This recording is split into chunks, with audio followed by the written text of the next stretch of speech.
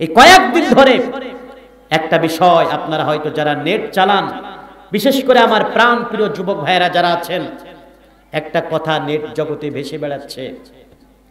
এক কালেমাই রুটির জি আর এক কালেমাই কি জানেন আপনারা? ফাঁসি, কি বলেন? এক কালেমাই রুটি রুজি এক কালেমাই ফাঁসি। এক কালে মায়ের রুটি রুজিয়া এক কালে মায়ে ফাঁসি। রুটি ফাঁসি। আল্লাহর ভয় কাকে বলে সেটা বোঝানোর জন্য বলছি, এই একই কালিমার দাওয়াত আমরা দিচ্ছি, এই একই কালিমার দাওয়াত আমরা অনেক মানুষ দিচ্ছি, আমাদের জীবনে অনেক রুচি রুটি চলছে আবার ওই একই কালেমার ব্যাখ্যা করতে গিয়ে অনেক মানুষকে ফাঁসির মঞ্চে যেতে হয়েছে। তারপরও আল্লাহর ভয় তাদের দিল থেকে সরে যায় নাই, ঠিক কিনা?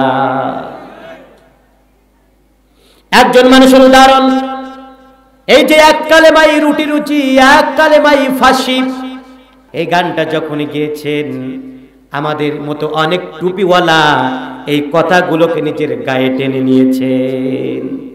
বাংলায় বলে চোরের মনে পুলিশ পুলিশ। কেউ অযথাই নিজের গায়ে নিয়ে ফেলেন না। ওই কোন এক শিল্পী একটা গজল গেয়েছে? সাইয়েদ কুতুবের একটা গজল। আরেকজন বক্তা নিজের উপর নিয়ে বিশাল বয়ানও দিয়ে দিয়েছে। যারা ফাঁসির মঞ্চে গেল, এরা বিনা হিসাবে জান্নাত, কামাই কইরা চোদ্দ গোষ্ঠীর জান্নাতে নিছে। আমগো যাদের ফাঁসি হয় না আমরা সব ধ্বংস হয়ে গেছি। মানে আমগো কালেমায় রুটি রুজি, আর হেগো কালেমায় ফাঁসি। বাকি লাইনটা আর শুনি নাই, খুঁজতেছি শোনার জন্য। নিজের গায়ে টেনে নিয়েছে। এক কালেমাই রুটি রুজি, এক কালেমাই ফাঁসি। এর ইতিহাসটা হলো এমন, তৎকালীন সময়ের শ্রেষ্ঠ একজন মুফাসসির, যার তাফসীর গ্রন্থ সমগ্র বিশ্বব্যাপী, এখনও পর্যন্ত প্রসিদ্ধ তাফসীর গ্রন্থ হিসাবে এখনও পর্যন্ত রয়েছে ফিজলালিল কোরআন। এই ফিজলালিল কোরআন তাফসীর। এর লেখক, আপনারা কেউ জানেন নাকি? লেখকের নাম জানেন? কেউ জানেন না আপনারা? তাফসীর ফি জিলালিল কোরআন। এই তাফসীর গ্রন্থের লেখক হলো তৎকালীন জামানার শ্রেষ্ঠ মুজাদ্দিদ, শ্রেষ্ঠ মুফাসসির। আজ পর্যন্ত যার তাফসীর গ্রন্থের মতো অত সুন্দর তাফসীর গ্রন্থ আজ পর্যন্ত লেখা হয় নাই।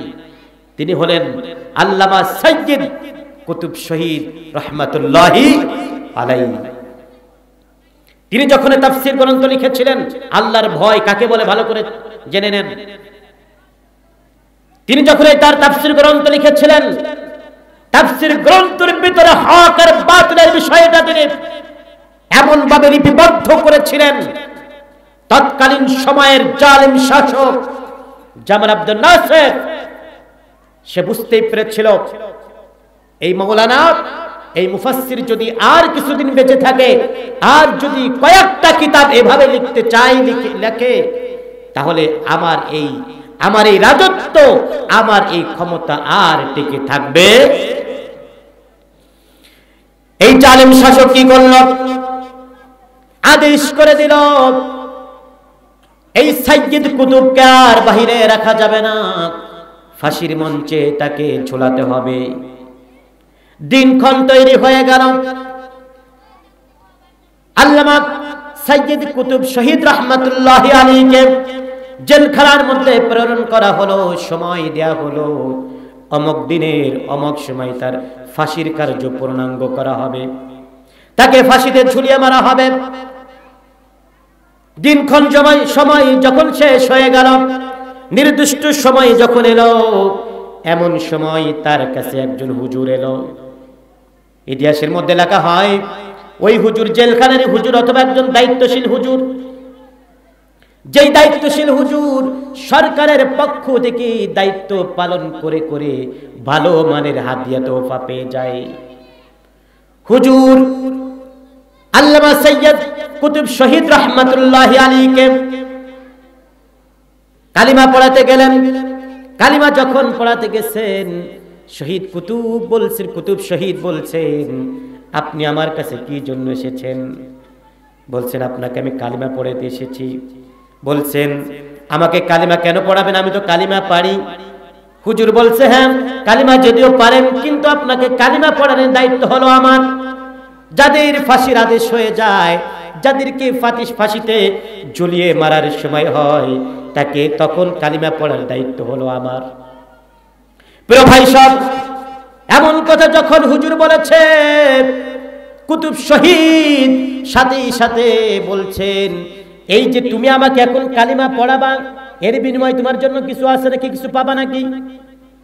ইমাম সাহেব বলছে হ্যাঁ আমি যদি এখন আপনাকে কালিমা পড়াই তাহলে সরকারিভাবে আমি কিছু হাদিয়া পাব।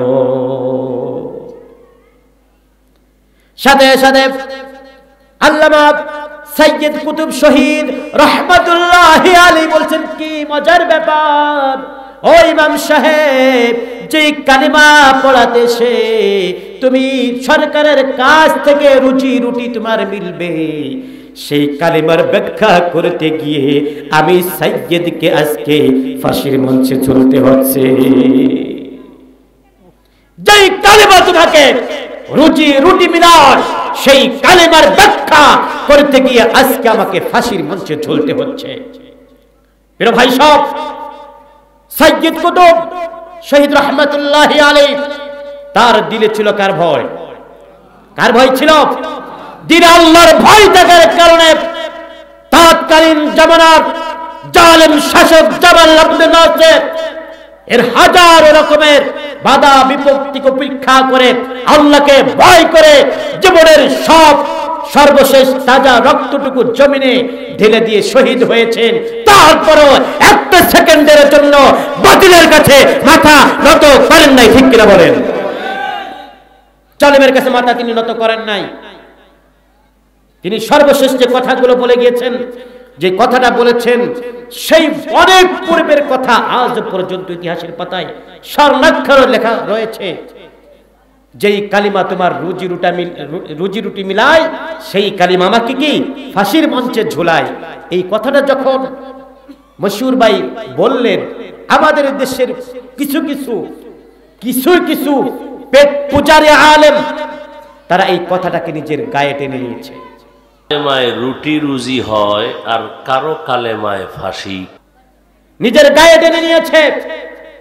শুধু নিজের গায়ে টেনে নেয় নাই। আপনারা নেট দেখবেন। অনলাইন আপনারা ঢুকবেন, আপনারা দেখবেন। এমন চলাময় বক্তব্য বাতিলের পক্ষে তিনি দিয়েছেন। এমন চলাম চলাময় বক্তব্য বাতিলের পক্ষে তিনি দিয়েছেন।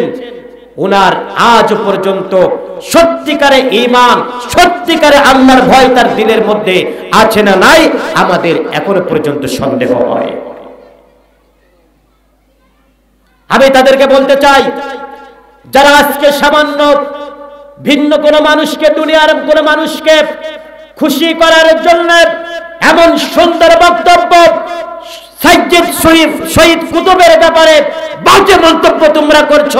আল্লাহকে সাক্ষী রেখে বলছি, আজ হোক, কাল হোক, যাদের যাদের মাথায় তেল দিয়ে তোমরা চলছো, ওরাই তোমাদেরকে আজ হোক, কাল হোক তোমাদেরকে নেড়ে করে ছাড়বেই ছাড়বে, ঠিক কিনা বলুন?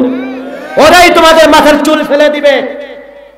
যাদের মাথায় তোমরা তেল দিচ্ছ যাদের আজ প্রশংসা করছ, প্রশংসা করে করে এমন আল্লাহর ওলির বিপক্ষে তোমরা কথা বলছো, এমন সুন্দর সত্যের পথ থেকে তোমরা বিচলিত হয়ে কোন কোন মানুষকে তোমরা যারা আজ এভাবে স্বার্থের পূজার হিসাবে তাদেরকে খুশি করতে চাচ্ছ, ভালো করে জেনে নাও, তারা আজকে তোমাদের উপর খুশি আছে করে আজ অনেক মানুষকে ধরে ধরে কারারুদ্ধ করেছে। আজ হোক, কাল হোক, তুমি মৌলানাও ধরা পড়ে সেদিন তুমি ওখানে চলে যাবে, ঠিক কিনা বলুন? ছাড় পাবে না। একটা একটা একটা একটা করে তোমাদেরকে ধরা হবে। সুতরাং আজকে আল্লাহর ভয়কে বাদ দিয়ে যারা ইমান আকিদা থেকে দূরে সরে গিয়েছ, ইসলামের ছায়াতল থেকে দূরে সরে গিয়েছ, আলেম ওলামা হকের পথ থেকে যারা তোমরা দূরে সরে গিয়ে তোমরা ভিন্ন মত অবলম্বন করছ, ভিন্ন কোন জনগোষ্ঠীকে তোমরা এমনি ভাবে খুশি করতে চাচ্ছ। জেনে রাখো জেনে রাখো, বেশি দিন আর বাকি নাই। সেদিন অতি অতি সন্নিকটে, সেদিন অতি কাছে, যেদিন তোমাদেরকে কঠিন অবস্থার সম্মুখীন হতেই হবে হতেই হবে হতেই হবে, ঠিক কিনা বলুন। আল্লাহ রাব্বুল আলামিন এই সমস্ত পেট প্রচারই আলেমদেরকে সঠিক বুঝ দান করুন, বলুন আমিন। সবাই জোরে বলুন, আল্লাহুম্মা আমিন।